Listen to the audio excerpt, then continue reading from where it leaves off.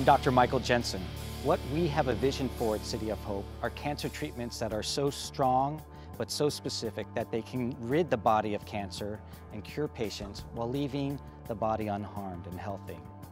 One approach that I'm very excited about is harnessing the power of one's immune system to attack cancer.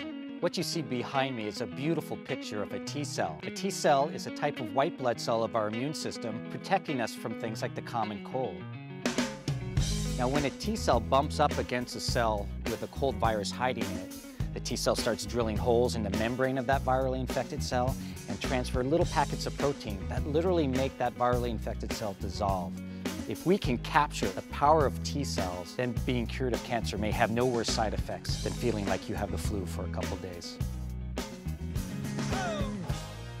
What we decided to do was to basically reboot the operating system of T cells. Just like you would take your personal computer and put in a new uh, disk for a program, we put genetically engineered pieces of DNA into the T cell.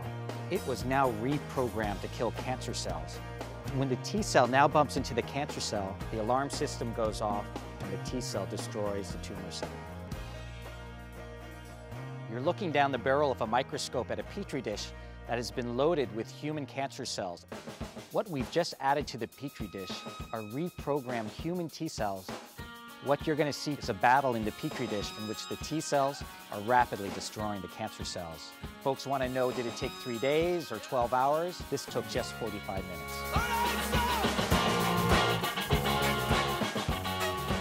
While killing brain tumor cells in a petri dish is one thing, it's quite another thing to be able to cure brain tumors in the brain.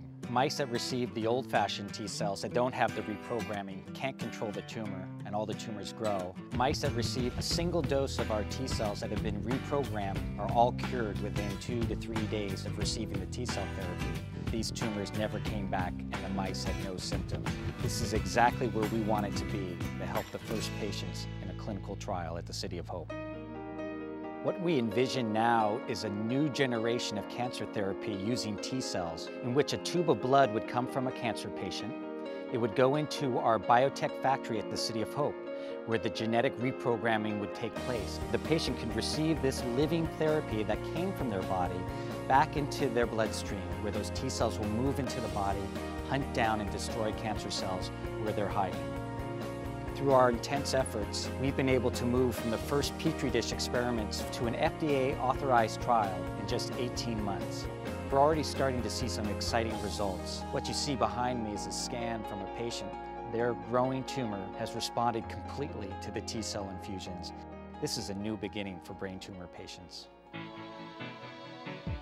We here at City of Hope are absolutely passionate about bringing you a future in which the harshest forms of cancer therapy can be replaced with these new generations of cancer therapy. This is possible only through a partnership with people like you. You give us the rocket fuel to move forward.